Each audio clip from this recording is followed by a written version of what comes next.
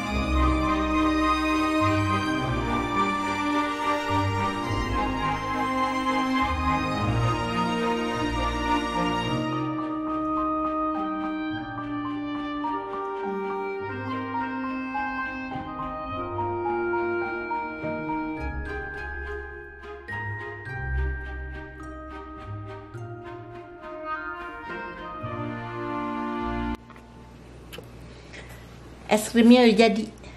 Ini gampang. Uh, didingin kalau ini saya dinginkan overnight ya.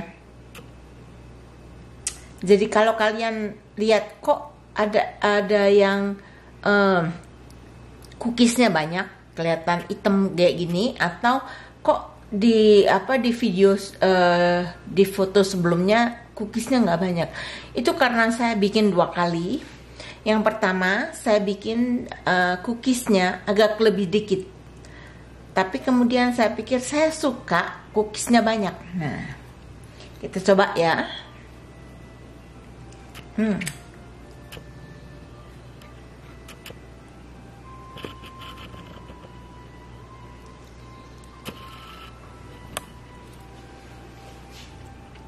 Hmm.